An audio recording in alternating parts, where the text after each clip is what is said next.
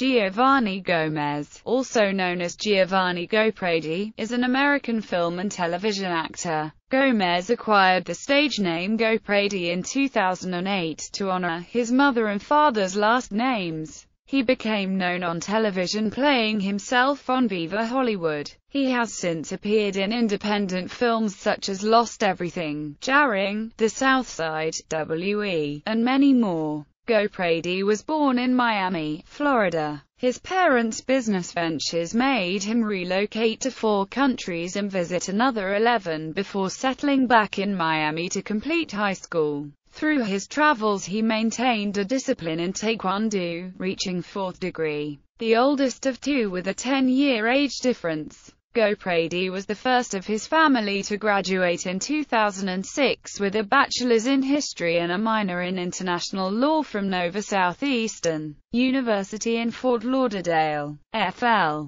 Career During 2005, Gopradi decided to enroll in acting classes while he was attending college to overcome his fear of public speaking. After his first performance as Jerry in the play The Zoo Story he decided to take acting professionally. Gopradi landed his first lead role in a 2006 short film The Options followed by the character Rodriguez in Lost Everything and appeared on the television series Viva Hollywood aired on VH1. In 2007 he began filming a comedy Spanish Woman's Guide to Finding a Good Man. His work called the attention of NBC Telemundo and was cast in the Spanish soap opera Pecados Ajenos but the big screen kept calling his attention so Gopradi began filming La Mujer de la Noche and was cast for Jarring, his first horror lead role. While in New York, Gopradi broadened his acting performing 10 plays between off and off off Broadway from 2009 to 2011, as well as co-starring in short film Grown Ups and as the murdering gang member in the feature The South Side to be released in 2012 among others.